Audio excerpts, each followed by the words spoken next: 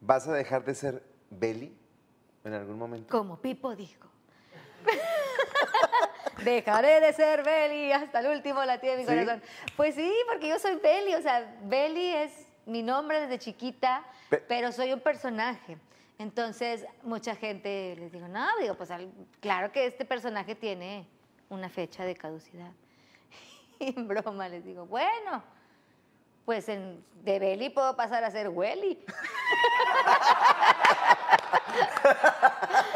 Pero la verdad que, pues no sé, digo, ya ves, ahí está Cepillín, toda su vida la dedicó a ser payaso, Chabelo, no sé, digo, no, nunca saben la vida lo que va a pasar, pero hoy en día yo disfruto mucho ser Beli, me disfruto mucho mi trabajo, es algo que me súper apasiona. He encontrado gente que le apasiona igual que a mí este trabajo, por eso yo creo que también ha, ha dado estos resultados, porque Alejandro Puyol es un apasionado de, de este proyecto de Belibeto, mi familia tiene, tiene toda la, tengo todo el apoyo, entonces pues, pues ¿qué más puede pedir uno? Seguir trabajando y seguir trabajando hasta que Dios quiera. A lo mejor algún día ya no les va a gustar Beli y pues No, pues a mira, vender casas.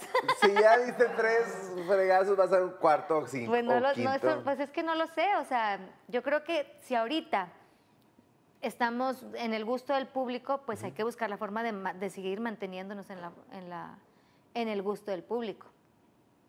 Ok. ¿Te has hecho arreglitos para Sí, el Botox. nada más Botox? Botox y ya, nomás. Nada más aquí. No, pues es que te ponen aquí y aquí. Una vez me pusieron aquí, pero me dolió mucho.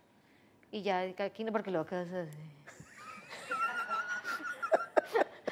O sea, la verdad es que sí me he puesto varias veces y con diferentes doctores y hay unos que te quedas así, que dices, ay, no. Sí. Y ahorita encontré así el que me encanta como me deja, Ok. el doctor Leobardo. ¿Y algún otro arreglo, operación estética? No, pues no, bueno, fuera. ¿Qué te harías?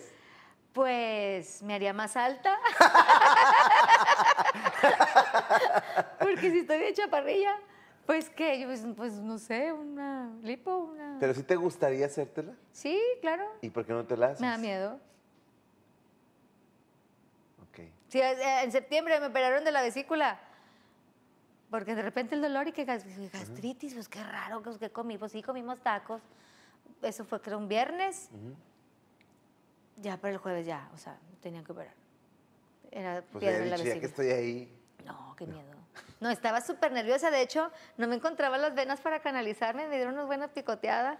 Estaba muy nerviosa. Ok. Pero pues ya, ya, me tenía que operar.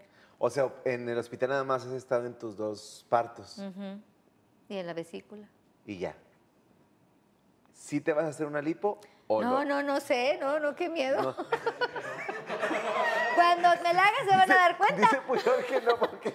Si me la llego a hacer se van a dar cuenta. Ah, porque va a empezar la gira. O te la haces ya o ya no te la haces.